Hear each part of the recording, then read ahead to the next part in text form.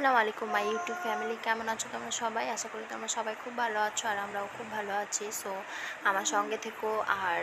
please continue ভিডিওটা দেখতে থাকো আর ভিডিওটা চালাতে থাকো বন্ধ করবে না কেউ